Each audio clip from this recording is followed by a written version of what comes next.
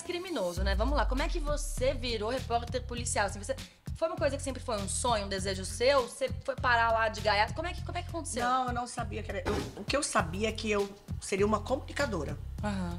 né? Mas eu não sabia qual seria a minha missão dentro desse contexto, né? Então eu fui fazendo testes. Aí eu comecei no programa de esporte, fiquei seis meses, foi ridículo.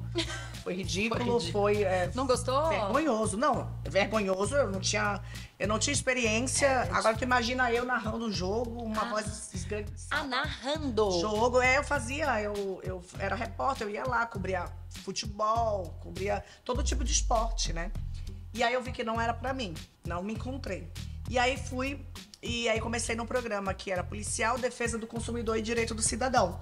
Quando eu fiz o teste, eles disseram, nossa, você falou que não tinha experiência e tal. Eu disse, não, mas eu não tinha experiência.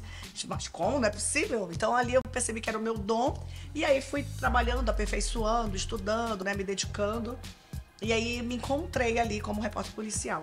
E aí, depois de um tempo, a gente vai vendo, por exemplo, na Record mesmo, na passagem pela Record, é, foi bom porque lá eu consegui encontrar um leque de opções de trabalho, né? Isso é Porque eu legal. também tenho veia do humor, eu tenho o lado da- do entretenimento.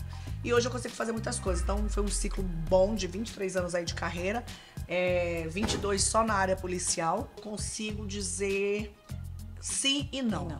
né? Então, assim, até a, ao, ao ano. é, a gente vai fazer um ano praticamente que eu saí da Record, né? Então, é, então, até o último ano que eu fiquei na Record, eu sempre coloquei na minha cabeça que a minha missão era de ser sim. Não, eu tô aqui, eu tenho que vestir a camisa, então. E, e eles sempre tiveram todo um cuidado. Você se sente bem em fazer? Eu falei, não, não, eu tô aqui.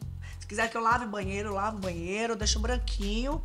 É, não faltando leite dos, dos meninos, tá tudo certo. Eu sempre falei isso. Porque, na verdade, é, você trabalha numa empresa e eu acredito muito nisso que você tem que se dedicar e, e o que colocar ali pra você fazer. A gente fez uma pergunta, estavam conversando.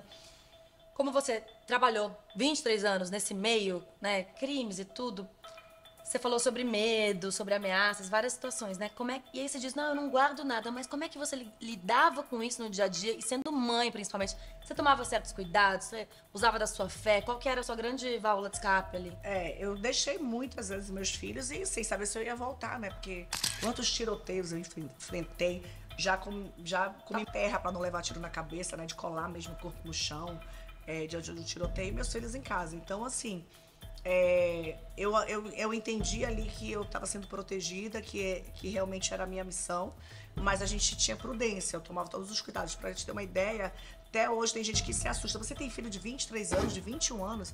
Porque eu passei muito tempo da minha vida sem dizer que eu tinha filho. Você, mãe, depois de tanto tempo, e até você falou, privava muito seus filhos, agora com essa coisa da internet, a história mudou um pouco, né? É. Então, a gente dificilmente não, não compartilha as coisas da nossa vida. É Yarin, né? O nome dessa filha? Arim, Yarin, acho lindo esse nome. Como que é ser mãe depois de tanto tempo? O que, que mudou? Mudou muita coisa? Você, mãe, você acha que é uma diferença grande?